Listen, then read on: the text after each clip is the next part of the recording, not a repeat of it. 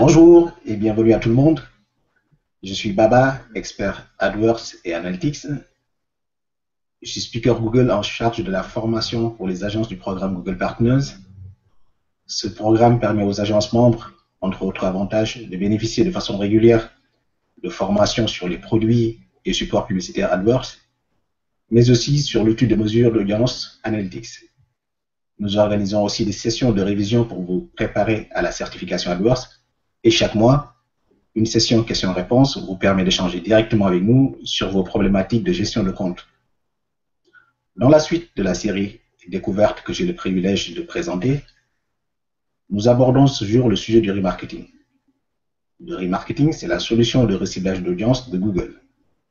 Nous parlerons de techniques de création de campagne, de gestion d'audience, mais aussi de mise en place d'indicateurs de performance. Ces sessions seront enregistrées et disponibles à l'issue de cette présentation sur notre chaîne YouTube. Pour une meilleure visibilité, je vous invite à choisir le format haute définition pour la diffusion de la vidéo. Et tout au long de cette session en live, vous avez la possibilité de poser vos questions sur la page de l'événement, directement au-dessous de la vidéo. J'y répondrai à la fin de la présentation. Sans plus tarder, le sommaire de la présentation de ce jour le principe du recyclage publicitaire.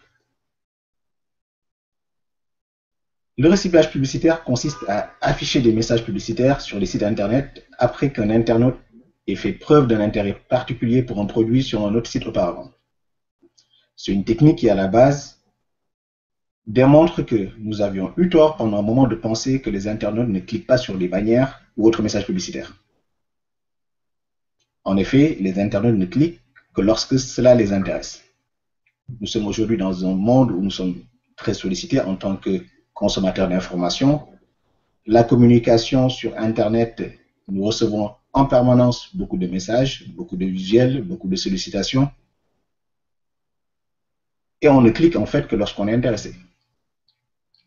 Le recyclage publicitaire s'inscrit donc dans la logique de dire on va proposer des messages publicitaires à des internautes qui, en fonction de leur historique, de leur parcours, de leur centre d'intérêt, ont montré un intérêt pour un produit ou bien un service. Le principe du recyclage publicitaire, donc, se positionne comme une solution pour ne pas solliciter les internautes uniquement avec un message publicitaire en leur disant voici mon produit, il existe, mais en leur montrant dans le contexte, effectivement, que ce produit s'adresse à eux parce qu'on a compris qu'ils ont un besoin effectivement par rapport à ce produit. Soit ils ont visité, consulté le site Internet et ont montré un intérêt pour une catégorie du site Internet, ou bien pour certains des services, ou bien certains des produits, ou bien à travers leur historique de navigation, leurs habitudes de navigation sur Internet, on a compris que ces personnes sont intéressées par le sujet. Le retargeting, donc, c'est le nom qu'utilisent de façon générale tous les acteurs du marché, utilise la technique de ciblage comportemental une entreprise qui souhaite développer les ventes de services ou de produits va donc cibler plusieurs types d'internautes. Alors, on va prendre l'exemple d'un internaute qui est allé sur un site e-commerce, qui a manifesté un intérêt pour certains produits ou bien pour un produit de ce site e-commerce, qu'il a ajouté au panier. Pour diverses raisons, l'internaute a décidé d'abandonner son parcours d'achat et de vaquer à d'autres occupations il serait intéressant pour l'acteur, pour cet e-commerçant, d'identifier cet internaute et donc de lui proposer un message publicitaire qui va l'inciter à revenir et à continuer son acte d'achat. Le recyclage, plusieurs choses sont possibles. On peut décider de proposer des services ou des produits additionnels lors de l'achat de l'internaute ou dans une période ultérieure proche de l'achat. On va donc proposer un produit additionnel. Vous avez acheté une paire de chaussures. On a compris que vous êtes potentiellement intéressé par une paire de chaussettes assorties. Quelques jours après votre achat, on va vous proposer une paire de chaussettes qui pourrait aller très bien avec la paire de chaussures que vous avez déjà achetée.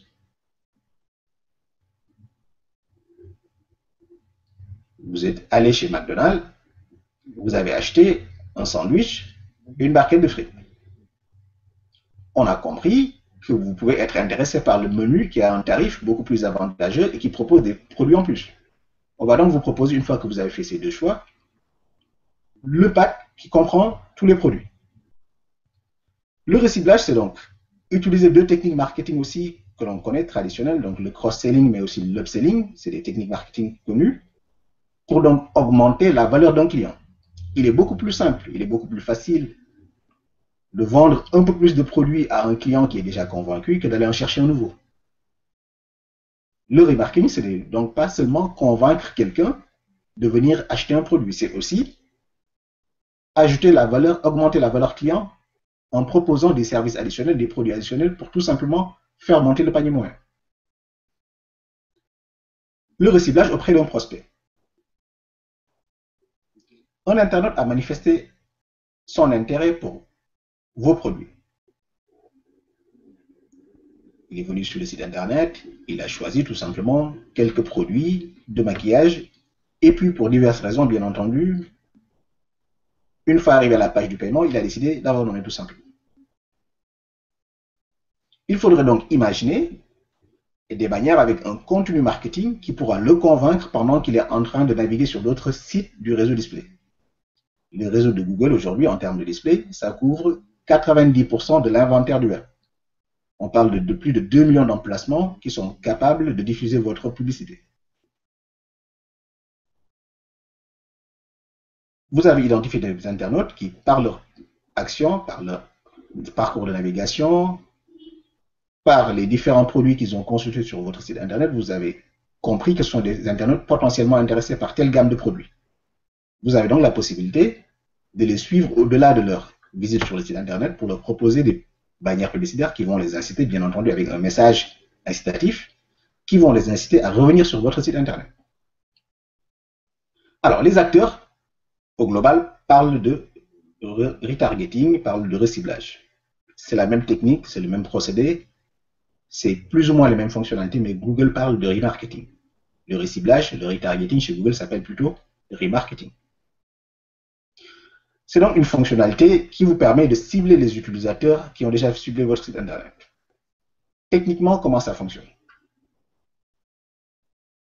Un navigateur, un utilisateur a utilisé son navigateur pour trouver votre site internet ou bien a cliqué sur un lien qui, qui l'a conduit vers votre site internet il a visité certaines catégories, certaines pages de votre site internet. Google a donc la possibilité de générer un cookie sur son navigateur, sur son ordinateur.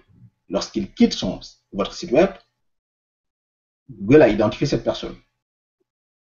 Et Google sera capable de proposer de la publicité dans son inventaire, dans son rayon de site partenaire, une publicité qui va s'adresser uniquement à cette personne.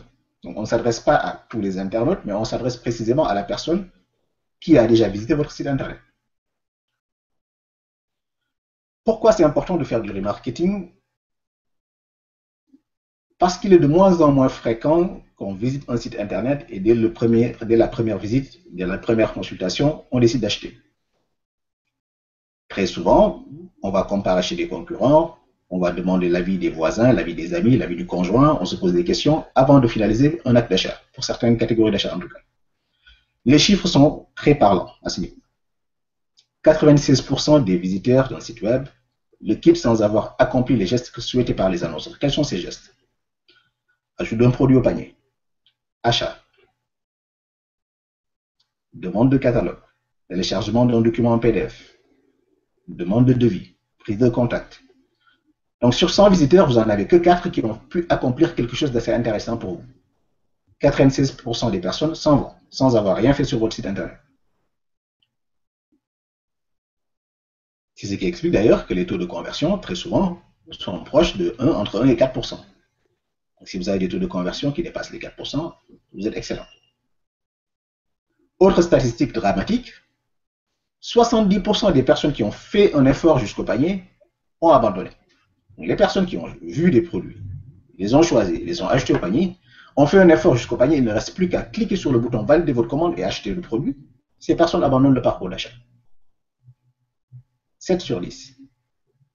nous n'avons finalement que trois personnes qui ont été plus ou moins convaincues par les produits, qui ont finalement décidé d'accomplir l'acte d'achat. Que faut-il faire? Est-ce qu'il faut laisser partir ces personnes?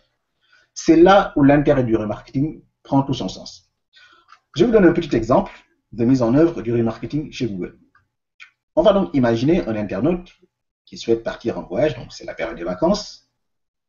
Il veut partir en vacances, il se dit, voilà, la Jamaïque, c'est une bonne destination pour moi. Il tape sur son moteur de recherche, vacances Jamaïque pas cher. Il voit une liste de résultats et puis il voit un résultat naturel, soit disons, un résultat naturel d'un annonceur qui s'appelle Brisis, qui propose des séjours pour aller en vacances. Donc il choisit de cliquer sur cette annonce.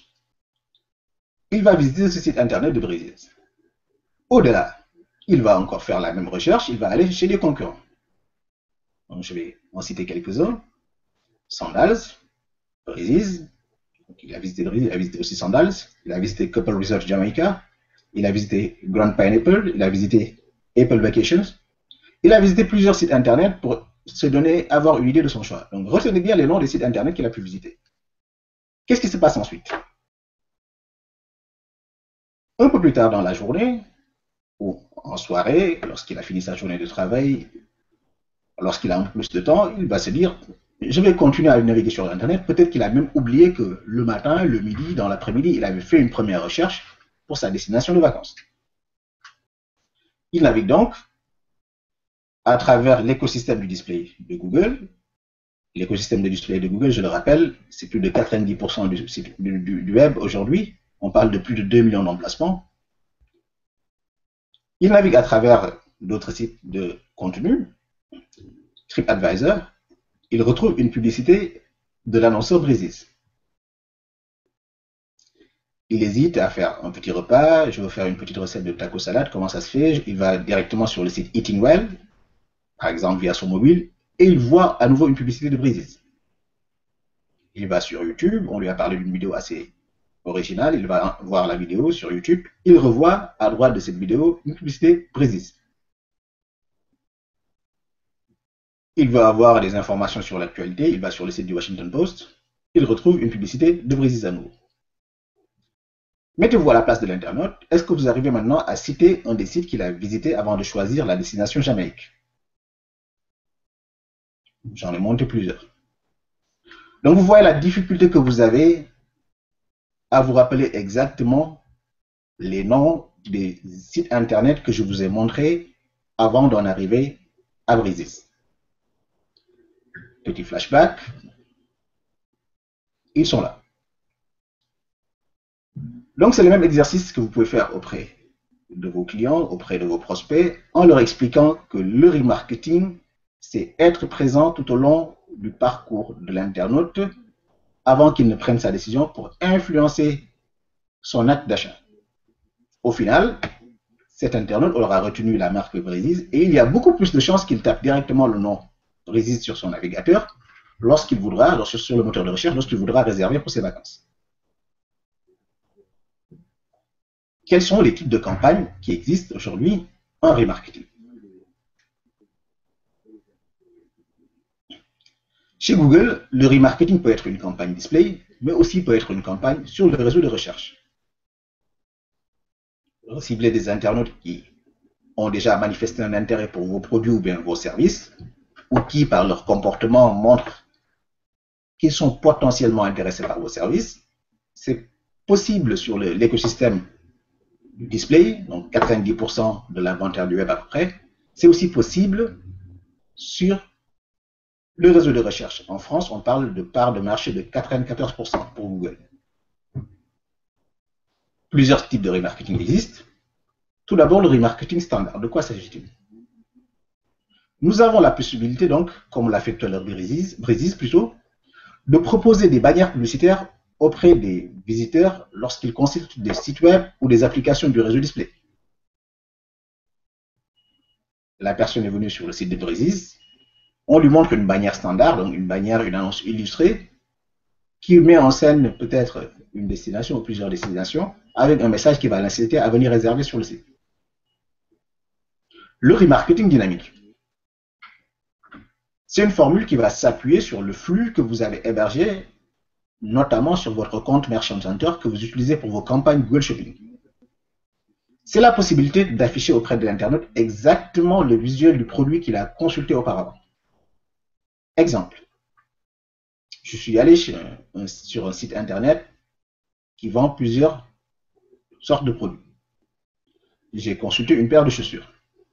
J'ai changé d'avis, je me suis dit, je vais aller au rayon électroménager, il est temps que je change ma machine à café. Je choisis une machine à café. Finalement, je choisis aussi un t-shirt. Je consulte les trois produits, mais je me dis que pour X raisons, je ne vais, pas les acheter. Je quitte le site internet. L'éditeur de ce site a donc compris que j'étais intéressé par trois produits. Qu'est-ce qu'on va mettre sur la bannière de remarketing? Électroménager, vêtements, un peu difficile de faire un choix. Donc, étant donné que le n'a pas l'intention de vous montrer une bannière générique qui parle de tous les produits, ou bien qui parle de simplement de son site internet, il a la possibilité de faire une bannière remarketing dynamique. Donc, en s'appuyant sur son flux, on va exactement montrer à l'internaute les trois produits qu'il vient de visiter. Donc, il verra dans une bannière des encarts avec exactement les trois produits qu'il a consultés. C'est le principe du remarketing dynamique. Certainement, vous l'avez déjà rencontré au cours de votre parcours de navigation sur le réseau display de Google. Le remarketing pour les applications mobiles existe aussi. Le remarketing pour les applications mobiles vous permet de diffuser des annonces auprès d'internautes qui ont déjà utilisé votre application ou bien parfois votre site web pour mobile. Vous savez qu'ils sont sur le mobile et sur le mobile, il y a des applications étant donné qu'ils ont manifesté un intérêt pour votre site web mobile ou bien pour votre contenu mobile via votre application, vous êtes capable de les recibler pendant qu'ils sont sur d'autres applications, par exemple. Recibler quelqu'un pour lui demander de venir continuer un parcours déjà entamé sur votre application. Quelqu'un qui a visité votre site web mobile, pendant qu'il est sur une autre application, vous pouvez recibler cette personne pour lui demander de continuer à naviguer sur votre site web mobile. Les listes de remarketing pour le réseau de recherche aussi existent. Vous pouvez donc décider de recibler des internautes pour leur seconde ou bien leur troisième recherche. C'est-à-dire que aujourd'hui, on a tous compris que les internautes prennent rarement la décision de la première recherche. Tout à l'heure, on a vu vacances Jamaïque pas cher. il est revenu plusieurs fois sur le moteur de recherche pour retrouver d'autres sites internet pour choisir sa destination de vacances. Vous avez donc la possibilité de dire l'internaute qui est venu une première fois sur mon contenu a visité mon site internet à travers la recherche. Selon son niveau d'engagement, je vais lui proposer une offre adaptée pour qu'il revienne. Je peux me dire par exemple que quelqu'un qui est allé jusqu'au panier, qui cherchait vacances jamais, peut-être qu'il est un tout petit peu frustré parce que le prix a été un peu trop élevé. Je vais donc lui proposer une réduction moins 25%, ou moins 10%, moins 5%, selon bien entendu ma marche, en lui disant, lorsque vous allez faire la seconde recherche vacances Jamaïque pas cher, dès la première recherche, j'ai compris que vous êtes allé jusqu'au panier. Sur la seconde recherche, je vous propose une annonce avec une réduction. Le remarketing pour la recherche peut fonctionner comme ça. Il peut aussi fonctionner en vous disant, je cible par exemple des faire par mariage je vends des faire par mariage à des personnes. Je veux me lancer sur le secteur du livre photo. Je sais que les personnes qui ont acheté des faire par mariage sont potentiellement été intéressées par des livres photos. Je ne suis pas expert des livres photos et le mot-clé coûte trop cher. Je vais donc faire du remarketing pour la recherche uniquement auprès des personnes qui ont déjà acheté un fer par mariage chez moi quelqu'un qui a déjà acheté un fer par mariage, je crée une liste de remarketing des personnes qui ont déjà acheté un produit chez moi. C'est des personnes qui ont vu la page merci de votre commande. On verra un plus tard comment on choisit ces audiences. Je vais donc leur proposer une annonce publicitaire pour leur demander de revenir pour acheter chez moi un livre photo. Les personnes sont beaucoup plus susceptibles de cliquer sur l'annonce de ma marque que chez un concurrent parce que ce sont des personnes qui connaissent déjà mon service. Et étant donné que je ne pouvais pas me permettre de me positionner sur le mot-clé parce qu'il est trop concurrentiel au début, je veux tout simplement me tester, voir si c'est un marché porteur ou bien prometteur pour mon activité. Je vais donc choisir de cibler ces mots-clés-là uniquement sur le réseau de recherche pour les personnes qui me connaissent déjà ou bien qui sont déjà satisfaites de mon service parce qu'elles ont acheté chez moi. Le remarketing vidéo aussi existe. Le remarketing vidéo fonctionne dans les deux sens. J'ai une chaîne YouTube, j'ai un contenu vidéo. J'ai identifié des personnes qui ont manifesté un intérêt pour mon contenu. Exemple, une personne qui est venue sur le tutoriel de maquillage que j'ai mis en ligne. On parle de eyeliner, on parle de gloss, on parle de mascara. La personne est venue sur le site internet, elle a regardé un tutoriel où tous ces produits en fait sont mis en avant par le biais d'un tutoriel. Je vais donc recibler ces personnes pendant qu'elles sont sur l'écosystème du réseau Google. Après avoir visionné la vidéo, les personnes sont susceptibles d'aller faire autre chose à travers Internet. Je vais donc leur proposer une bannière publicitaire avec exactement les produits que ces personnes ont consultés pour qu'elles puissent revenir. Cela peut fonctionner aussi dans l'autre sens. Je veux changer, par exemple, la décoration intérieure de mon appartement. Je suis venu sur le site d'un annonceur, j'ai consulté du produit, un produit assez technique, le béton ciré par exemple. C'est technique, c'est complexe. J'ai consulté la page produit, mais j'ai un tout petit peu des doutes. comme je ne sais pas trop comment ça s'utilise, je décide de dire, j'ai consulté, ça m'intéresse, je l'ai acheté au panier, mais je vais peut-être me renseigner pour trouver un artisan. YouTube est aujourd'hui le deuxième site le plus visité après Google. Donc, en France, cette personne est très susceptible, après avoir consulté mon contenu, après avoir consulté ma, page de site e-commerce, de se retrouver à un moment ou à un autre sur YouTube. Je vais donc lui proposer, quand elle va être sur YouTube, une annonce publicitaire en lui montrant le tutoriel de mise en place ou d'application du béton ciré. Donc, pour rassurer l'internaute en lui disant, c'est facile à utiliser. Pourquoi? Parce que j'ai compris au préalable que cette personne a manifesté un intérêt pour ce produit. Elle a hésité à acheter chez moi. Je vais donc convaincre la personne avec une vidéo en lui disant, c'est pas difficile. Je montre quelqu'un qui est en train d'utiliser ce produit assez facilement en lui disant, vous pouvez directement avec ce tutoriel le faire vous-même. Le Customer Match existe aussi en remarketing. De quoi s'agit-il? J'ai une liste d'adresses email que le commerçant, l'e-commerçant, une boutique physique a pu obtenir, bien entendu, avec le consentement des personnes clientes ou bien qui ont visité le magasin physique, ou bien tout simplement des personnes qui ont acheté sur le site internet, qui ont donné leurs coordonnées et qui, qui ont accepté d'être sollicitées. Je peux donc créer une liste avec cette, base d'adresse email qui va être cryptée et donc recibler cette ces personnes-là, même lorsqu'elles n'ont pas consulté mon site web. J'ai une boutique physique, maintenant je me lance en ligne. J'ai un processus ou bien des cartes de fidélité avec des personnes qui m'ont laissé des adresses email. De temps en temps, je leur envoie un email pour pour leur dire plutôt, venez en magasin, j'ai une offre pour vous. Avec le remarketing customer match, je peux donc recibler ces personnes pendant qu'elles naviguent sur Internet pour leur dire Bonjour, maintenant nous avons une boutique en ligne. Donc c'est grâce à leur adresse email que Google sera capable de les retrouver sur Google, sur Gmail, sur YouTube, dès lors que ces personnes sont connectées à un compte Google. Un compte Google, ce n'est pas forcément un compte Gmail. C'est un compte qui a accès à un produit ou à un service de Google. Le ciblage. Alors maintenant qu'on a vu les différentes techniques qui existent, les différents types de campagnes, on va voir le ciblage. Comment choisir l'audience? À qui je m'adresse? Mon audience, je peux donc la choisir selon plusieurs informations, selon plusieurs choses. Selon la catégorie ou tout simplement selon le comportement de mes utilisateurs. Des personnes qui ont un centre d'intérêt en particulier une audience que Google a collectée tout simplement parce que Google a identifié que ce sont des personnes intéressées par tel type de produit. Des personnes qui ont téléchargé le PDF de la formation, par exemple. Je sais que ce sont des personnes qui sont intéressées par mes services. Des personnes qui ont ajouté un produit au panier.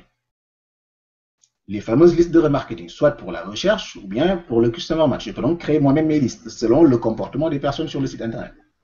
Des personnes qui sont abonnées à ma newsletter. Une liste de remarketing, donc, c'est un groupe d'utilisateurs de mon site web. C'est un groupe d'utilisateurs d'Internet. Ce sont des personnes qui, à un moment ou à un autre, ont manifesté un intérêt pour un de mes produits ou un de mes services, mais ou bien tout simplement un groupe de personnes qui, à travers leur historique, montrent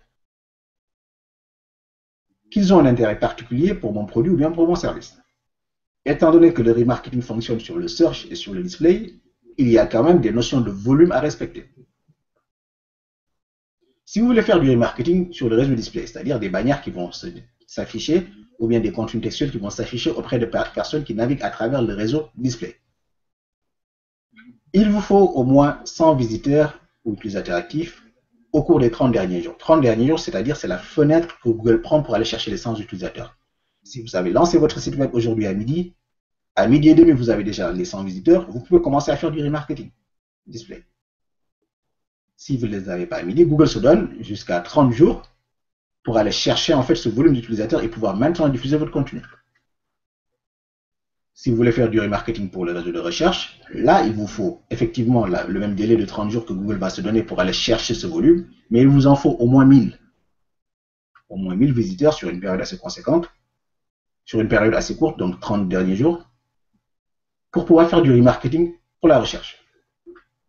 Donc, la taille de la liste est importante en termes de remarketing. On peut recibler les audiences, des comportements, des téléchargements, mais il faudrait que les listes quand même aient un certain volume pour que cela soit pertinent il n'est pas intéressant de recibler les deux personnes qui sont venues sur votre site internet. Alors, nous allons voir un petit tutoriel de création de campagne de remarketing display.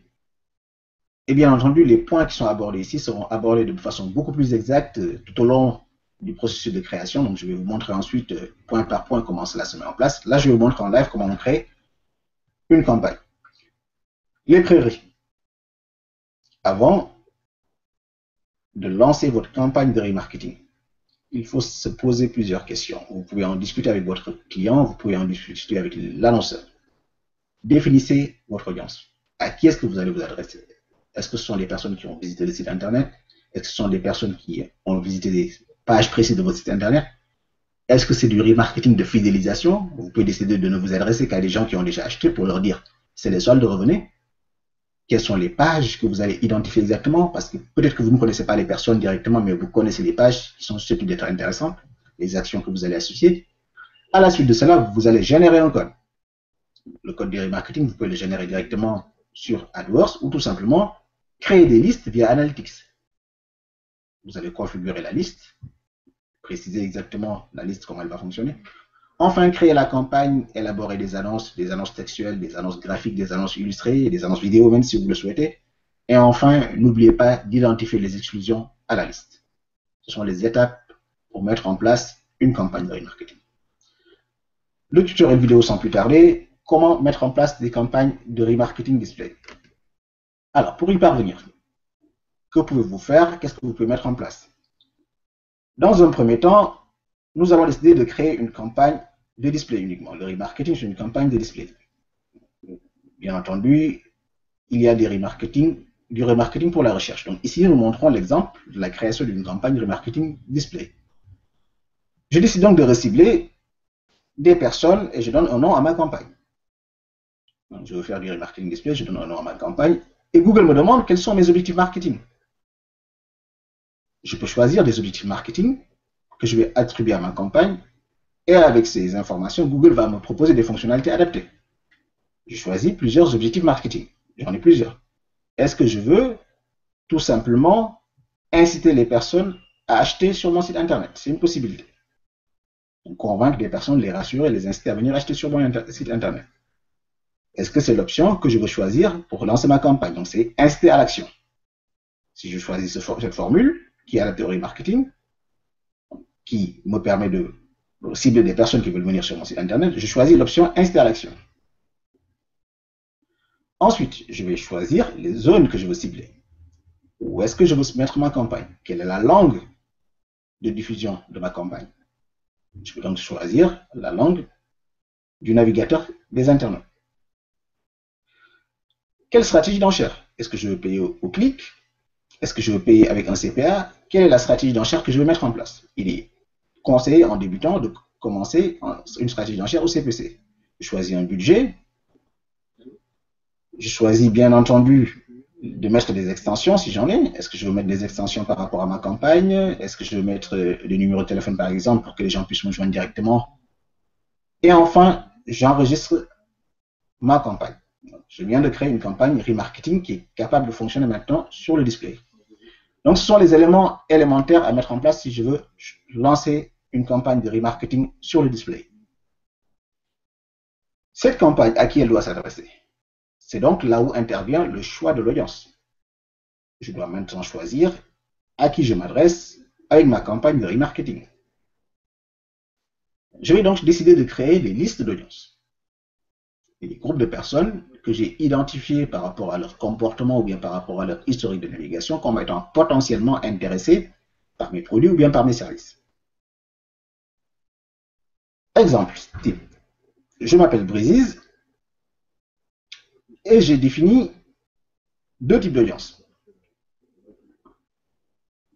J'ai l'audience des personnes qui ont reçu un devis et j'ai l'audience des personnes qui ont réservé un séjour. Pourquoi il est important d'avoir ces deux types d'audience? Parce que toutes les personnes qui ont reçu un devis ne sont pas intéressantes à recibler. Pourquoi? Parce que les personnes qui ont reçu un devis, certaines d'entre elles ont déjà réservé un séjour. Donc si je me dis que je vais uniquement recibler des personnes qui ont reçu un devis, je suis aussi en train de recibler des personnes qui ont déjà acheté. Je vais donc recenser dans un premier temps toutes les pages qui m'intéressent en leur créant des audiences. Donc, comment je crée mes listes d'audience Je vais donc recenser les pages via AdWords. Donc, euh, je crée mon audience sur AdWords et je définis en fait les différentes audiences. Je sais que lorsque vous avez reçu un devis pour la destination, sur la page de réservation du devis, le nom de la destination était mis en avant. Donc, devis, destination, donc c'est le nom de l'audience, et je mets l'URL que vous êtes censé visiter que vous êtes censé consulter pour avoir la réservation pour cette destination. Bien entendu, il faut avoir un site web avec des URL que vous êtes capable de suivre vous-même. Vous l'avez vu, l'audience de la réservation, c'est une page Thank you. Donc la page merci de nous avoir contacté, la page, merci d'avoir réservé chez nous. Selon votre secteur d'activité, donc vous pouvez identifier les pages intéressantes. Les personnes qui ont manifesté un intérêt, par exemple, pour les appartements. Vous vendez des appartements et des villas. Les personnes qui ont manifesté un intérêt pour les villas. Pourquoi? Parce que j'ai des URL avec le mot village et des URL avec le mot appartement. Donc, je choisis les URL que ces personnes ont potentiellement consultées. Comment je traque ces listes d'audience? Je connais mes URL, mais comment je vais donner l'information à Google pour que Google puisse le faire? J'ai donc la possibilité de placer un tag individuel dans une liste ou sur l'intégralité du site avec l'URL correspondant. Donc, je peux décider, il est préférable, lorsque vous vous lancez, de recibler toutes les pages de votre site internet. Donc de cibler les internautes qui visitent toutes les pages. Pourquoi? Parce que ça vous permettra ensuite de pouvoir ajuster beaucoup plus facilement. C'est préférable que de mettre en fait euh, que du, un tracking sur une page spécifique. Si demain vous changez d'avis, vous voulez traquer notre page, vous allez encore être obligé de créer un autre code ou de le, positionner ailleurs. Donc placez un tag AdWords sur toutes les pages de votre site internet. Donc euh, vos développeurs doivent être capables de le faire de poser ce tag. Normalement, le service informatique est capable de le faire. Je vais vous montrer comment créer ce tag. Ou tout simplement, lorsque vous avez fait la liaison Analytics à AdWords, vous avez la possibilité sur Analytics de créer directement vos listes d'audience. Donc les audiences, vous pouvez les trouver directement sur Analytics. Via AdWords. Lorsque vous créez votre première campagne, AdWords va vous proposer de créer une balise de tracking. C'est un code que vous allez poser sur toutes les pages de votre site web et qui permettra à cette liste de collecter au fur et à mesure des visiteurs, des usagers. Lorsque la liste, le code est créé, vous pouvez le code poser vous-même sur le site. Sinon, vous avez une option qui vous permet de l'envoyer directement à la personne qui s'occupe du back-office du site. Donc, si vous ne voulez pas une erreur de code oubliée, donc une balise mal fermée ou bien mal ouverte, tout simplement, vous pouvez directement envoyer les informations ainsi que les instructions avec l'onglet que vous voyez à gauche envoie à, donc euh, vous avez envoyé les instructions par email, donc la personne qui s'en occupe reçoit le code ainsi que les instructions détaillées pour savoir où poser le code et comment le mettre en œuvre. Une fois que c'est posé, vous allez donc créer la liste de remarketing comme on l'a vu tout à l'heure. Donc, j'ai le nom de la liste, je mets un nom, et je décide en fait de quel type de liste il s'agit. Est-ce qu'il s'agit des visiteurs d'une page? Donc, je choisis les visiteurs. Visiteurs d'une page qui n'ont pas visité une autre page, par exemple, ceux qui ont consulté la page devis pour les Bahamas, mais qui n'ont pas vu la page, merci de nous avoir contactés. Donc, je sais que ce sont des personnes intéressées par la destination Bahamas, mais qui, n'ont pas encore converti, qui n'ont pas encore acheté. Donc, je peux faire des combinaisons pour justement ne pas recibler tout le monde. Et je définis la durée de validité. N'oubliez pas de mettre une description parce que cela permettra à terme de pouvoir revenir facilement là-dessus et de savoir de quoi il s'agit. Ou si une personne reprend le compte à votre suite, ou si une personne travaille aussi sur le compte, elle saura exactement de quelle liste il s'agit. La durée de validité, vous pouvez l'étendre jusqu'à 540 jours. Ce qui veut dire que en décembre 2014, j'ai eu des visiteurs qui ont acheté du foie gras sur mon site internet. L'année prochaine, en novembre, je commence à les recibler en leur disant revenez acheter du foie gras sur mon site internet. C'est bientôt le mois de décembre. Sur Analytics. Alors, sur Analytics, vous pouvez avoir des listes beaucoup plus fines. Par défaut, Analytics vous crée déjà une liste de tous les utilisateurs. Mais vous pouvez aller à un niveau beaucoup plus fin. Je peux préciser des listes avec des statistiques beaucoup plus fines sur Analytics. Par exemple, AdWords va se contenter de voir le comportement des personnes via la page que ces personnes ont consultée uniquement. Analytics peut aller au-delà. Analytics peut y ajouter le type de navigateur utilisé, le type d'appareil, le profil de l'internaute. Donc, je peux décider via Analytics de recibler les femmes âgées de 25 à 34 ans, passionnées de mode, qui habitent l'île de France, qui ont consulté telle page de mon site internet via un téléphone mobile. Les listes peuvent être beaucoup plus fines. Donc, c'est un exemple que je vous donne pour vous montrer le niveau de finesse auquel vous pouvez aller sur Analytics. Bien entendu, plus votre liste est fine, plus votre liste est précise, moins vous aurez de volume. Il faut donc synchroniser Analytics à AdWords pour que cela fonctionne. Synchroniser vos comptes AdWords et Analytics, vous pouvez le faire directement sur l'interface Analytics, mais aussi sur l'interface AdWords. Donc, vous avez l'option accès au compte, paramètres du compte, et vous allez directement lier le compte AdWords au compte Analytics pour pouvoir faire remonter ces informations de liste. Vous créez votre première liste en activant le remarketing sur Analytics. sur Analytics, vous avez la possibilité de créer votre première liste. En activant le remarketing, vous précisez que vous l'activez et automatiquement, Google vous crée, crée la première liste tous les utilisateurs. Ensuite, vous pouvez cliquer directement sur votre onglet Create campagne, donc créer une campagne pour créer directement une campagne. Sinon, si vous revenez sur AdWords, vous avez la possibilité maintenant de retrouver ces listes. Les listes peuvent avoir directement des...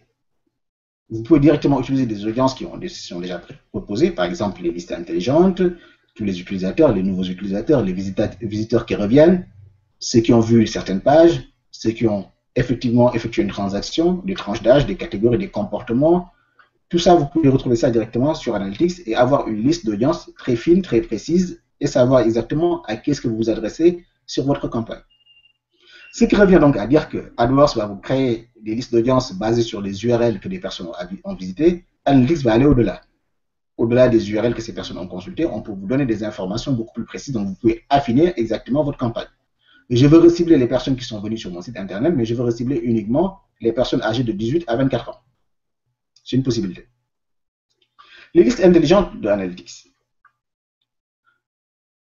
Google a donc la possibilité de créer une audience pour vous et de la gérer. On va s'appuyer donc sur l'apprentissage automatique appliqué aux données de conversion afin d'identifier les utilisateurs.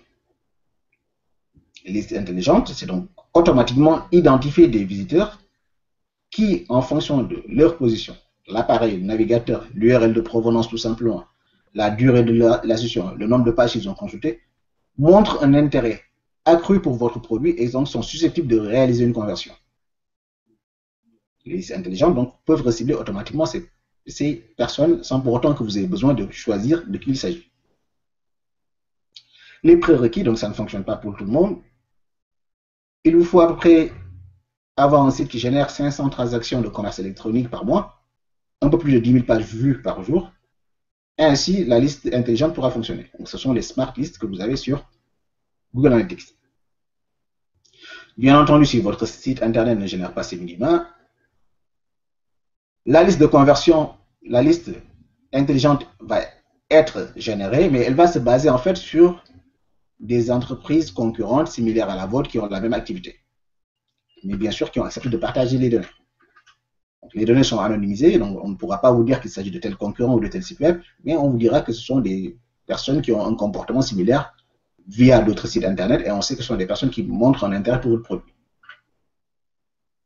Alors, le remarketing, une fois paramétré, il faut procéder quand même à quelques vérifications.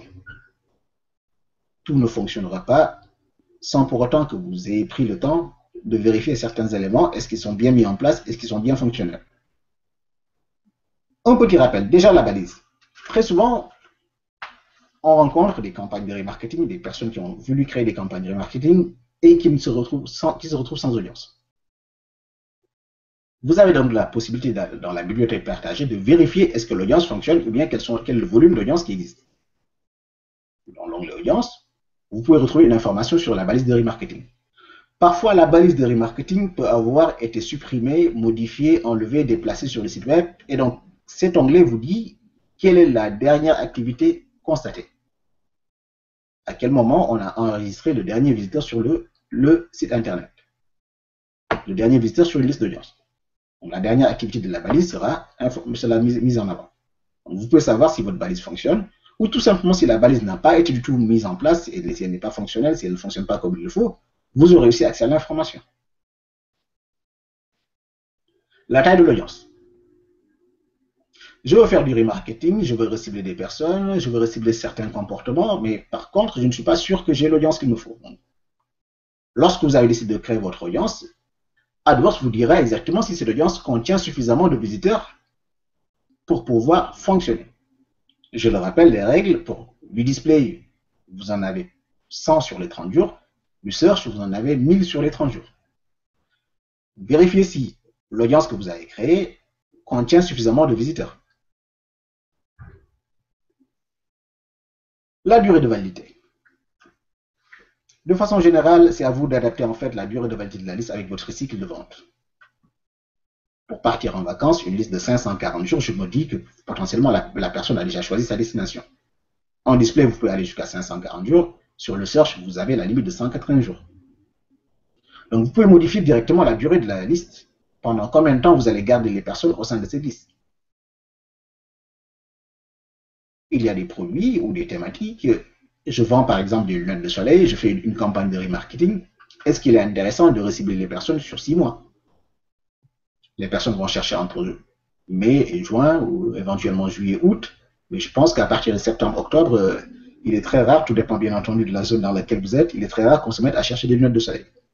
Donc votre produit donc n'est plus intéressant à partir de cette période, donc la liste de remarketing. Vous pouvez donc la prolonger ou tout simplement choisir une durée d'expiration par rapport à votre cycle de vente aussi par rapport à la saison.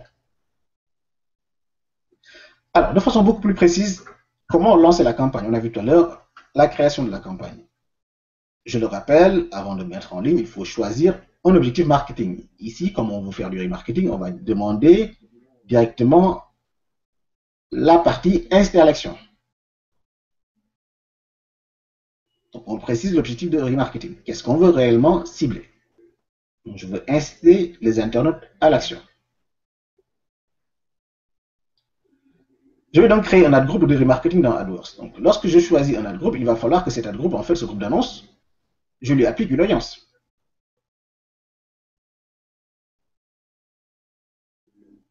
Quelle est mon audience? Est-ce que c'est une audience de centre d'intérêt ou bien c'est une liste de remarketing? Je vais choisir, par exemple, une catégorie de liste de remarketing. Tout à l'heure, j'ai choisi des personnes selon la destination. Google m'informe sur les volumes.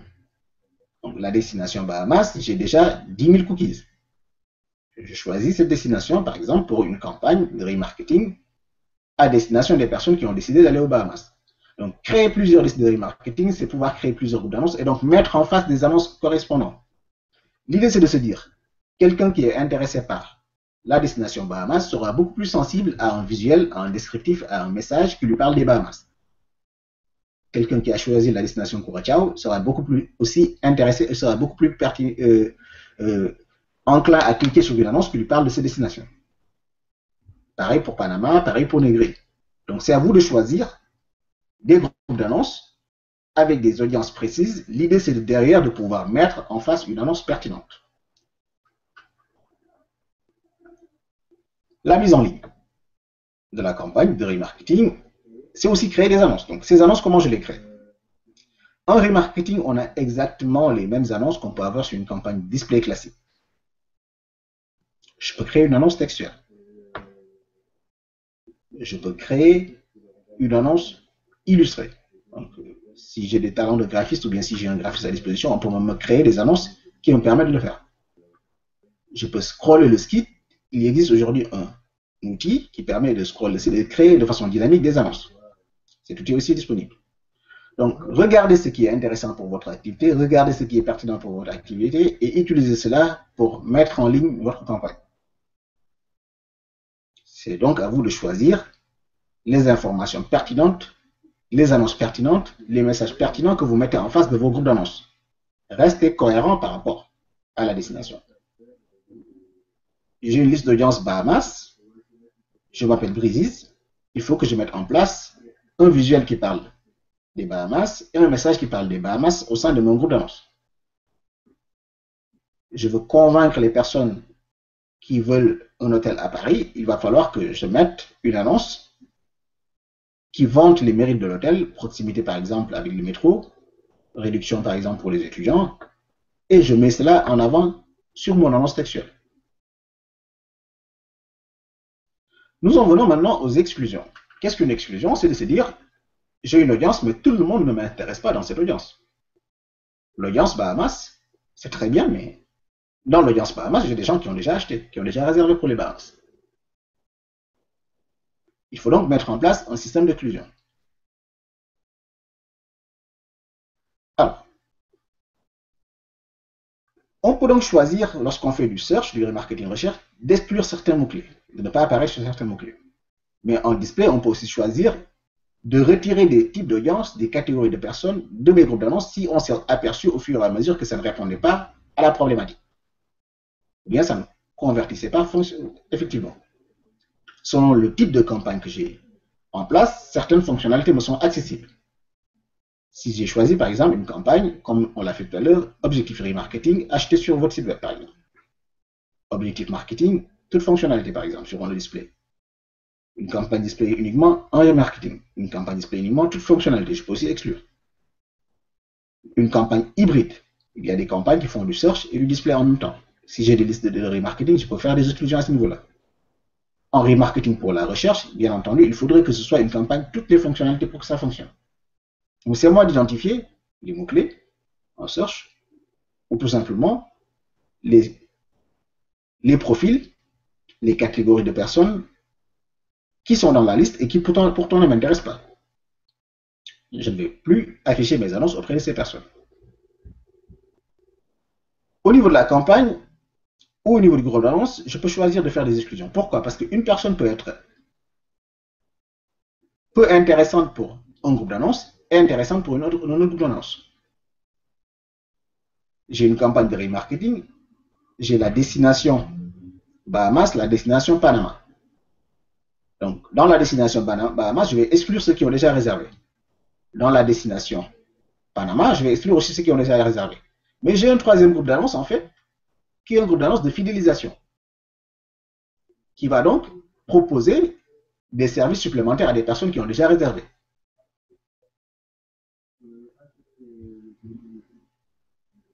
vous avez réservé pour cette nuit à l'hôtel, petit déjeuner compris, bannière de remarketing pour vous demander, par exemple, de payer à moitié prix tous vos déjeuners en les payant en une seule fois en ligne, par exemple. J'augmente la valeur du client, toujours dans la même campagne de remarketing. Donc, si j'avais exclu les personnes qui ont déjà acheté de ma campagne, j'aurais pas pu créer un groupe d'annonces qui va donc recibler ces personnes qui ont déjà acheté pourtant. Donc, au sein de ma campagne, plusieurs personnes m'intéressent. Ceux qui ont réservé, ceux qui n'ont pas réservé. Ceux qui ont réservé, je vais les exclure de la liste sur laquelle je veux cibler des gens pour qu'ils réservent. Mais je peux me les garder aussi pour les recibler en leur proposant un produit en plus. Tout à l'heure, on a parlé de upselling, de cross-selling.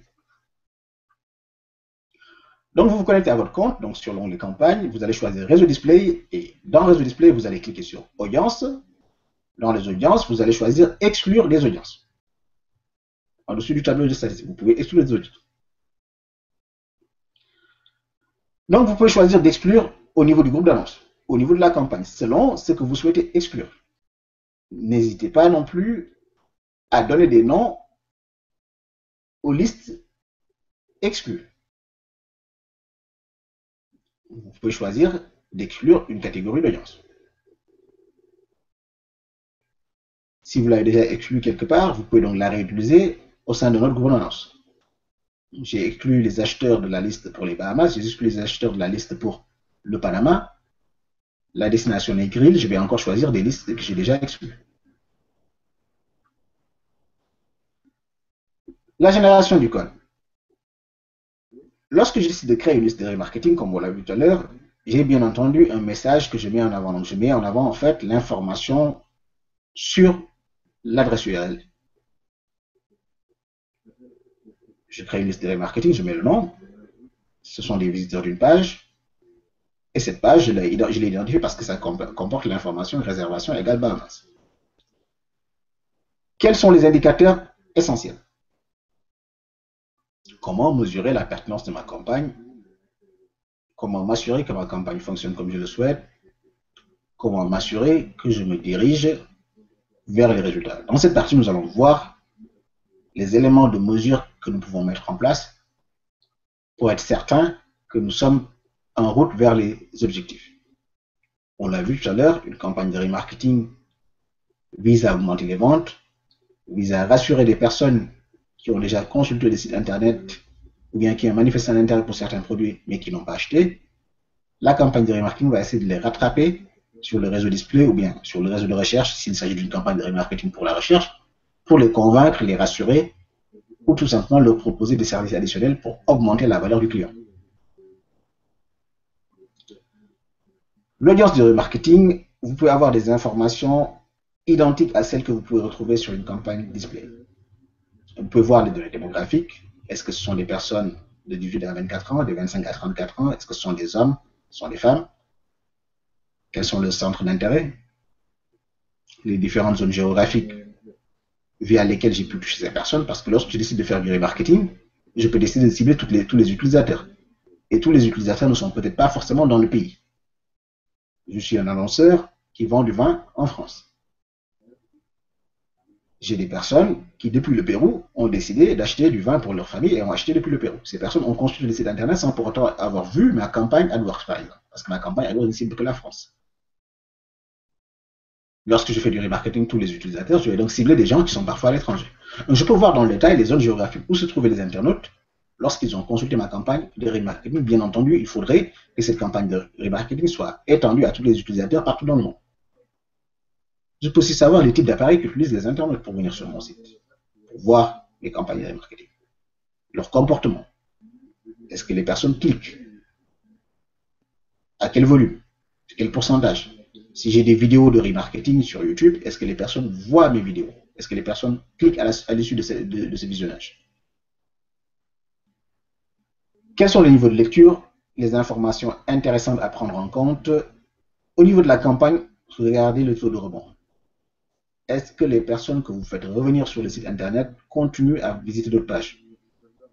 S'il est trop élevé, peut-être que vous faites revenir des personnes qui ne sont pas intéressées, ou bien tout simplement, vous les incitez à revenir alors que la promesse n'est pas respectée. Vous leur avez mis une bannière moins 25%, et lorsque les personnes cliquent sur la bannière, elles arrivent sur un site internet et ne voient pas la promo moins 25%. Respectez votre promesse, surveillez vos taux de rebond, vérifiez si les personnes qui viennent sont réellement intéressées, est-ce qu'elles restent ou pas? Détaillé au niveau des groupes d'annonces. Pourquoi? Parce que chaque groupe d'annonces peut, éventuellement cibler des personnes différentes. Vous vous apercevrez peut-être que la destination Bahamas est beaucoup plus prisée que la destination Panama. Si vous avez par exemple des groupes d'annonces par destination. Donc regardez les performances en termes de vente, en termes de dépenses. Peut-être qu'il sera intéressant de s'apercevoir qu'une destination est beaucoup plus prisée que l'autre et donc cap sur cette destination ou bien tout simplement vous mettez en veille toutes les autres destinations et vous allez plus faire du remarketing pour cette destination. Le budget sera un peu plus dépensé sur ces destinations. La bibliothèque d'audience vous permet aussi de voir des rapports détaillés. Donc, à gauche de votre écran, vous avez l'onglet bibliothèque d'audience. Bibliothèque partagée, vous avez les audiences et vous pouvez voir le détail des audiences. Lorsque vous les affichez, vous pouvez retrouver le détail de chacune de vos audiences. Les types d'audience, d'où proviennent ces visiteurs, quels sont leurs comportements, qui sont-ils Les acheteurs, je sais que c'est une liste qui a été créée, par exemple, sur le site web par rapport à des balises que j'ai positionnées. Similaire à la liste des All Converters, donc c'est la liste des personnes qui ont acheté. C'est un type d'audience similaire que Google a automatiquement créé. Ce pas des personnes que je connais. Ce ne sont pas des personnes qui sont venues sur mon site internet, mais c'est un type de personnes que Google a identifié comme ayant un comportement similaire à ceux qui achètent sur mon site internet. Les anciens acheteurs, par exemple, c'est une liste d'audience qui est possible. Et derrière, on me dira exactement si la liste est disponible pour YouTube, pour des bannières graphiques, pour le search, qu'est-ce que je peux faire de ces listes? Est-ce que je peux faire une campagne de remarketing pour le search? Est-ce que je peux faire une campagne de remarketing sur YouTube? Est-ce que je peux faire une campagne de remarketing pour la recherche? En fonction du volume ou bien tout simplement en fonction de la fonctionnalité. Google n'autorise pas de faire du remarketing search sur toutes les audiences. Il y a des audiences qui sont limitées. Bien entendu, il y a des évolutions qui sont attendues à ce niveau-là. Certainement, vous avez eu vent de la nouveauté qui est annoncée dans les semaines à venir, dans les mois à venir, cela pourrait évoluer. Donc, c'est à moi de choisir les audiences qui fonctionnent, les audiences vers lesquelles, en fait, je veux mettre mon, contenu, mais aussi je peux visualiser effectivement le niveau de pertinence, le niveau de qualité de ces audiences. Je peux aussi vérifier réellement le niveau de croissance de chacune de mes audiences. Exemple, mon annonceur souhaite investir un peu plus de budget en remarketing. Mais où est-ce que je vais dépenser ce budget? En search ou bien en display? Je peux donc voir les différentes listes et voir comment est-ce qu'elles évoluent dans le temps. Ici à l'écran, j'ai plusieurs listes qui ont évolué. La liste pour le réseau de display a eu une croissance beaucoup plus rapide que la liste pour le réseau de la recherche. Donc si j'ai du budget à dépenser en plus, je sais que pendant la période, la liste qui a connu la plus grande croissance, c'est la liste valable pour le display, donc je vais peut-être investir sur le display plutôt que sur le search. Le remarketing, c'est aussi la possibilité de voir avec exactement est-ce que ma liste de remarketing est pertinente. Donc, évaluer la pertinence d'une liste de remarketing. On crée une liste de remarketing parce qu'on sait sur AdWords que ce sont des personnes qui ont visité telle URL. Mais qui sont ces personnes? J'ai un blog d'art culinaire. Je veux faire du remarketing pour recibler les personnes qui ont déjà visité mon blog. je peux aller voir qui est mon audience.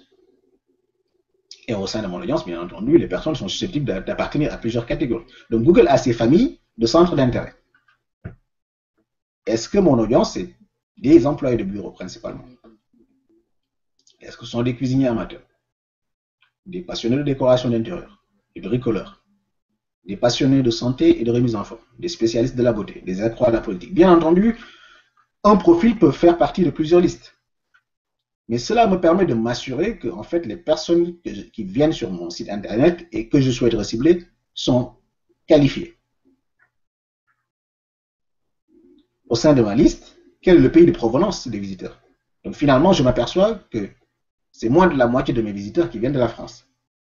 Mais à 80% sont des personnes passionnées de cuisine, par exemple. Ces informations me permettent de m'assurer que je vais dans le bon sens. Donc, je peux récupérer ces informations-là pour convaincre mon annonceur en lui disant, voilà, on se dirige dans le bon sens, on a eu une liste d'audience assez qualitative, au sein de cette audience, voici le profil des personnes qui sont dans cette audience. On peut aussi évaluer les statistiques démographiques.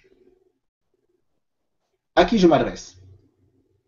J'ai mis en ligne un jeu vidéo et je souhaite cibler les 18-34 ans. J'ai une audience de remarketing qui s'est créée pour toutes les personnes qui ont téléchargé mon jeu vidéo ou bien toutes les personnes qui ont utilisé, qui, accédé, ont accédé par exemple au niveau 79 de mon jeu. Je veux faire une campagne remarketing, mais je veux m'assurer que j'ai la bonne audience. Je vais donc voir au sein des statistiques, effectivement, qui sont ces visiteurs.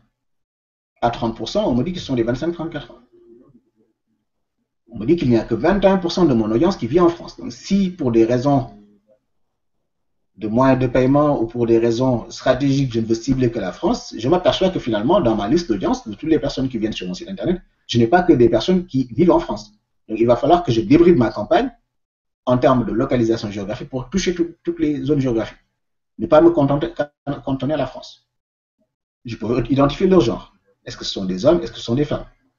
Des parents sans enfant, ou tout simplement statut inconnu. Donc ces informations sont recoupées par Google au sein de l'audience parce qu'on a identifié la personne, on a eu des cookies qu'on a positionnés sur son navigateur et on a pu, à travers la navigation de la personne, identifier que cette personne est intéressée par d'autres produits ou d'autres services ou bien a eu un comportement qui montre qu'elle est aussi passionnée d'autres contenus. Merci à tout le monde. Alors, j'espère que vous avez pu apprendre des choses sur cette formation en de remarketing, qui parle du remarketing. Je vais donc, euh, sans plus tarder, regarder s'il y a eu des questions tout au long de cette euh, session et essayer d'y répondre au fur et à mesure. Alors, sur la page de l'événement, quelles sont les questions qui ont été posées? Alors, parfait. C'est parti, je commence par euh, la question de Fabien. Le customer match, comment Google s'assure que les emails utilisés sont opt-in ou double opt-in? Alors, c'est vous qui le, précisez. Ça, c'est de la responsabilité de l'annonceur, c'est vous qui mettez, en fait, vous, vous avez par contre l'obligation de mettre en fait un lien de désinscription. Les adresses email, le fichier que vous envoyez, il est crypté. Donc, personne ne peut le voir. Donc, votre client peut vous envoyer un fichier crypté par un protocole spécifique, Fabien. Il vous envoie un fichier crypté et vous, vous n'aurez même pas les adresses email. Il peut vous envoyer un fichier crypté en CSV. Donc, le protocole s'appelle SHA-256. Il permet de crypter directement les informations là-dessus. Et vous êtes obligé, lorsque vous créez la campagne, de mettre, aussi un bouton qui permet aux personnes qui ne veulent pas être reciblées, qui ont compris en fait que voilà, j'ai été reciblé en fonction de cela, de se désinscrire de cette liste pour ne plus voir vos publicités. Vous êtes obligé de le faire. Alors, Max me demande où est-ce qu'on peut DL le dossier. J'ai pas compris, Max. Est-ce que vous pouvez me dire euh, exactement qu'est-ce que vous entendez par ça? D'accord. Alors, Fabien me demande si je peux mettre en full screen pour les vidéos, sinon on ne voit pas bien, même en HD. Alors, euh, oui, donc on va corriger cela, mais normalement, si vous vous mettez en HD, euh, ça devrait être visible. Euh, si vous parlez de mon visuel, après, voilà, effectivement, voilà, je suis en tout petit sur l'écran. C'est ça. Donc, c'est plutôt la présentation la star. Moi, je suis tout à fait tout petit derrière. Donc, le contenu, on essaie de le rendre beaucoup plus lisible, mais on va faire des efforts là-dessus. On va améliorer la visibilité, en tout cas. C'est pris en compte. Merci, Fabien. Merci Christophe. Alors, est-ce qu'il y a d'autres questions, des sujets sur lesquels vous aimeriez qu'on revienne? On a encore quelques minutes à passer ensemble. D'accord. Max me demande s'il est possible de récupérer la présentation. Alors, Max, je vais vous demander de nous rejoindre sur la page de l'événement. Donc, sur la page des formations, sur la page sur laquelle vous vous êtes inscrit pour participer à cette session, vous allez récupérer en fait la vidéo. À l'issue, vous aurez en fait une vidéo qui sera disponible. Vous pourrez voir la vidéo en replay. Pour l'instant, il n'est pas prévu de vous envoyer la documentation de ce contenu. Ce contenu ne sera pas envoyé en cas. Pour l'instant, ce n'est pas prévu. Alors, Arthur me demande, dans une optique B2B, est-il nécessaire d'effectuer du remarketing? Alors, via quelle typologie de ciblage? Alors, via quelle typologie de ciblage? J'ai bien compris la question, si j'ai bien compris alors. Oui. Alors, le ciblage, en fait, ce qu'il faut garder euh, euh, en, mémoire, c'est qu'en fait, le ciblage, il est comportemental. Je vais vous donner un exemple en B2B. Je vends un produit à destination de professionnels. C'est-à-dire, voilà, je veux que des personnes qui sont des professionnels du bâtiment, qui, sont par exemple des rénovateurs de façade, visualisent mon contenu. C'est un nouveau procédé qui permet par exemple d'aller beaucoup plus simple, d'aller beaucoup plus vite. C'est du B2B, donc je m'adresse à des artisans. Donc c'est un nouveau procédé que j'ai mis en ligne. Donc je parle de mon produit, je l'ai vanté directement sur mon site internet, mais les personnes vont se poser des questions. Je sais qu'à un moment ou à un autre, les personnes se retrouveront sur YouTube. Donc, je fais du remarketing vidéo, et lorsque ces personnes se retrouvent sur, YouTube, je leur montre un artisan, soit qui vante les mérites de ce produit, ou tout simplement, je leur montre la mise en œuvre de mon process. Séchage rapide de mon produit, application facile, mélange facile. Donc, c'est un process B2B. Donc, la typologie de ciblage, ça va être un ciblage tout simplement d'audience. Je cible des personnes qui ont vu mon produit et je sais que ce sont des professionnels.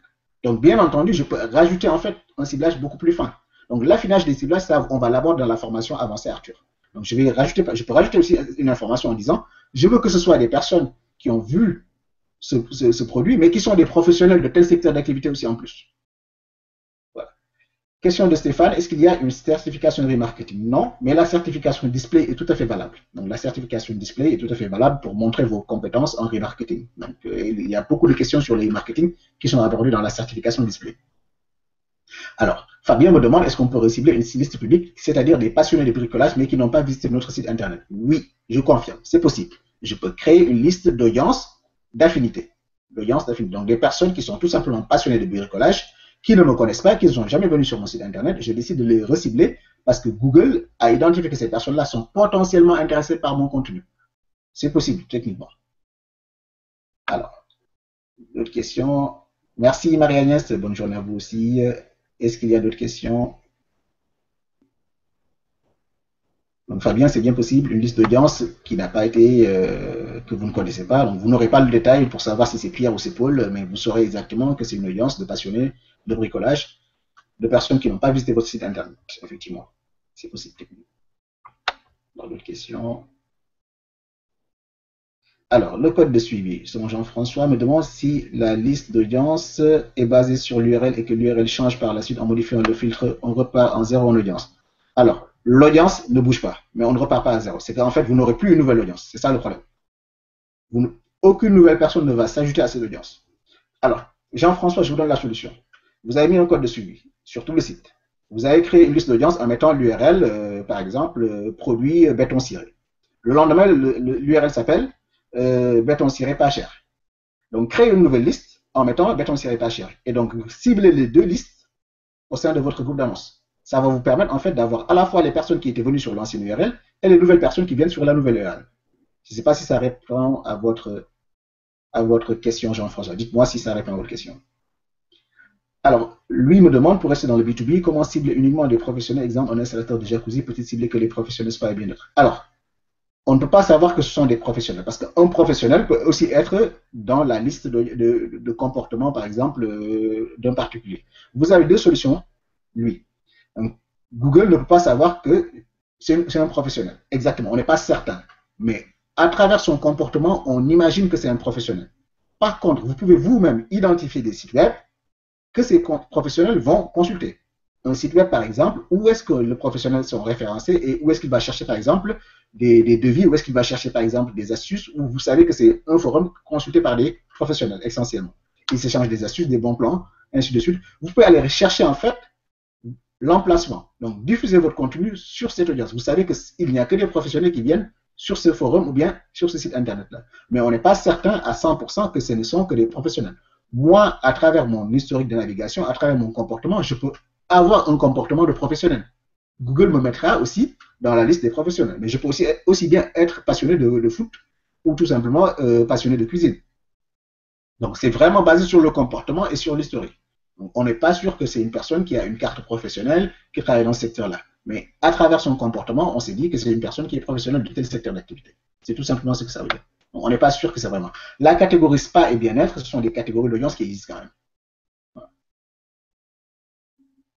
Donc, alors, euh, question d'Arthur. Comment faire pour être sûr de séparer le B2B et le B2C Il n'y a pas de certitude. Oui, en fait, oui, le Brand Lift Survey. Vous parlez de la Brand Lift Survey. Effectivement, vous pouvez lancer la nouvelle solution Brand Lift Survey pour savoir si vous avez des, informations pertinentes. Les statistiques, c'est que si vous n'avez pas un volume conséquent, vos données risquent d'être biaisées. Sur 100 utilisateurs, sur 100 visiteurs, 100 utilisateurs, 100 visiteurs, vous ne pouvez pas être certain que vous avez de la qualité, vous êtes sûr que vous adressez à la bonne audience. C'est ça la difficulté en fait. Il vous faut du volume pour être certain que vous touchez les bonnes personnes. Euh, donc 10 personnes ont visité, ont vu ma vidéo, je me lance un brand live survey, il y a la moitié qui ne va pas répondre, dans la moitié qui va répondre, j'aurai deux artisans et une personne qui, est tout simplement euh, qui est en particulier, je ne suis pas certain. Effectivement, le remarketing. Après, vous verrez avec vos résultats. Si vos produits s'adressent essentiellement à des professionnels, mettez sur vos bannières produits pour professionnels et vous, verrez les bannières les plus cliquées. Mettez, ou bien mettez deux bannières. Une bannière produit professionnel, une bannière produit pour particulier, et regardez la bannière qui sera le plus cliquée par votre audience. Et vous comprendrez qui est votre audience aussi, Arthur. Ça aussi, c'est une technique qui peut marcher. Alors. Alors, la, question de lui, alors j'avance un peu trop vite. Max me demande si on doit annoncer la récupération de cookies sur le site. Oui, c'est une directive européenne, maintenant c'est obligatoire. Alors, Marie me demande la short URL pour le replay. Oui, je vais la poster à la fin de la formation. Je vais vous poster euh, donc, sur la page de la communauté. À la suite de toutes ces questions, je mettrai un petit post. Alors, vous parlez de coût par vue, Frédéric. En règle générale, il existe une règle d'une augmentation du CPM, etc. Alors, souvent, ce que moi j'ai constaté, si vous faites, donc vous parlez de coût par vue, je suppose que vous parlez de remarketing vidéo. Ce que j'ai constaté, c'est qu'en fait, ça coûte moins cher en remarketing qu'en display classique ce qu'il faut faire, ce qu'il faut se dire, ce qu'il faut mettre en place, c'est se dire en fait, en vidéo, les CPC, les CPV plutôt, sont entre 4 et 10 centimes en France. Donc, ils sont véritablement beaucoup plus bas que vos visites classiques. Donc, c'est la règle, en tout cas, moi, que j'ai constaté. Après, il n'y a pas de règle, vous pouvez décider de payer plus cher le remarketing. Souvent, les annonceurs me disent, moi, je veux payer plus cher pour les personnes qui me connaissent déjà parce que je sais que j'ai beaucoup plus de chances de les rassurer. Alors, merci Vanessa. Moi aussi, je suis ravi de vous avoir retrouvé ici. Content de te retrouver, merci. Alors Fabien me demande, est-ce que les balises et les tags sont ajoutés au niveau du site ou sur certaines pages du site s'ils sont bien intégrés via Tag Manager? C'est possible. Alors, la recommandation que moi je donne, c'est utiliser Tag Manager si vous le pouvez pour vos annonceurs. Pourquoi? Parce que si vous avez un annonceur qui travaille avec plusieurs, avec une agence qui lui facture chaque pose de code, au bout d'un moment, en fait, vous devenez un tout petit peu une charge en lui demandant à chaque fois de demander la pose d'un code. Donc, si vous avez la possibilité de passer par Tag Manager, passez par Tag Manager, le code, il est posé une, bonne, une, seule, une, seule, fois pour toutes. La balise à ajouter au site, il faut la poser sur tout le site. Après, vous, vous allez créer vos listes d'audience par URL si vous le souhaitez. Si vous la posez sur certaines parties du site seulement, et que pour X raisons, dans deux mois, dans trois mois, de nouvelles pages apparaissent et que vous voulez recibler ces pages-là, vous allez être obligé de poser encore des codes sur ces pages-là. Donc faites-le une bonne fois sur tout le site. Donc ça, c'est la première recommandation. Si vous avez la possibilité d'utiliser Tag Manager, c'est vivement recommandé. Alors Arthur, je ne sais pas si vous avez eu la réponse à votre question. Alors je relis la question de lui. Alors oui, j'en ai parlé à lui. Je ne sais pas si vous avez eu la réponse à la question. Alors, merci Max. Max vient d'envoyer le, lien. Donc, euh, retour d'expérience sur ce qui marche mieux, search ou display remarketing. Ça dépend du secteur d'activité. Encore une fois, il n'y a pas de règle. Tout va, simple, tout va dépendre de ce que vous faites. Alors, il semble que le search, par exemple, ne permet pas de cibler en fonction de l'âge des prospects. C'est interdit. Voilà. C'est effectivement ça. En search, vous êtes beaucoup plus bridé qu'en display. C'est vrai. En search, c'est interdit. Vous ne pouvez pas dire que mon annonce en search ne va s'adresser à certaines personnes effectivement. Effectivement, vous avez raison. Donc, en search, effectivement, vous êtes beaucoup plus bridé. Effectivement, si, le terme que vous utilisez, c'est le terme adéquat, vous avez moins de fonctionnalités, en tout cas en search, que pour le display. Mais cela évolue.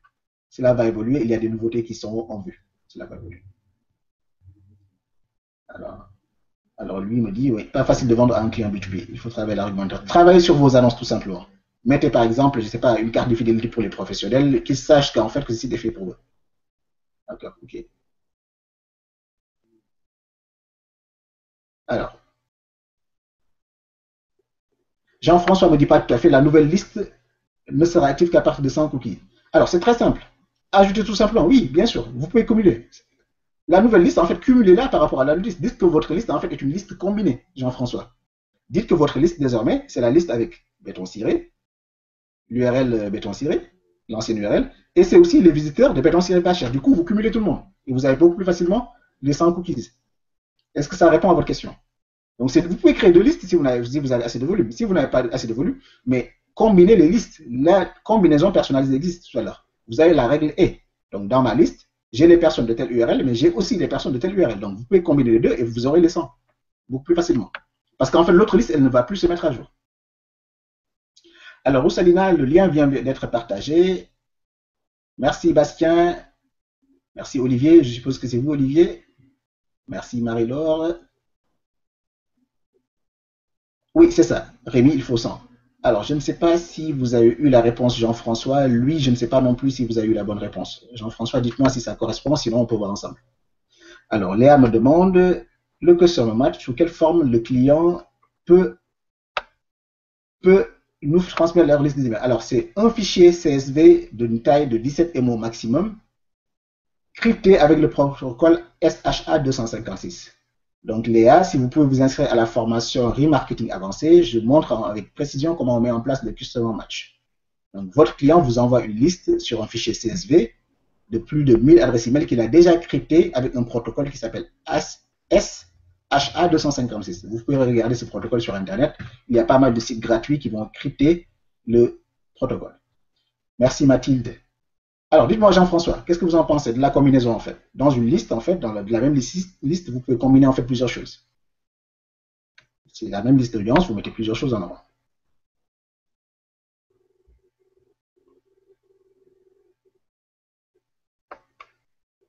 Je ne sais pas si ça répond. Est-ce qu'il y a d'autres questions en attendant que Jean-François nous précise s'il a bien eu l'information? Est-ce que cela lui parle cohérent? Après, il faut pas essayer. Parfait. Voilà, il faut, faut, faut, faut, essayer. Jean-François, je pense que tu peux essayer de ton côté. Et puis voilà, n'hésite pas. Donc, euh, sur la session questions-réponses, sur d'autres sessions, tu peux revenir et puis on en parle. Mais je pense que si tu as un faible volume, c'est la seule solution. C'est la seule solution, c'est de, de, mettre les deux ensemble. C'est la seule solution. Merci en tout cas à tout le monde. Merci de nous avoir suivis. Merci de votre attention. Euh, j'espère que vous avez pu apprendre des choses et que cette formation a été très intéressante pour vous. Je vous dis à très bientôt. Merci. Au revoir. À très bientôt.